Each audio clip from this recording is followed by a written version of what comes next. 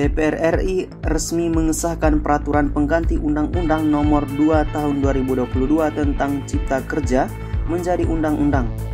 Pengesahan itu juga diwarnai aksi unjuk rasa di depan gedung DPR RI. Menteri Koordinasi Bidang Politik Hukum dan Keamanan Mahfud MD mengatakan pro kontra dalam pengesahan undang-undang merupakan hal yang biasa.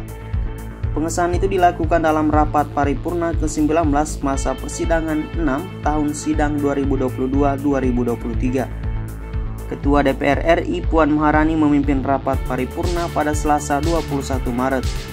Sebanyak tujuh fraksi menyatakan setuju hasil kerja panja dilanjutkan pada pembicaraan tingkat 2 dalam rapur DPR RI untuk disahkan menjadi undang-undang dua fraksi yakni Partai Demokrat dan PKS menolak pengesahan Perpu Cipta Kerja tersebut.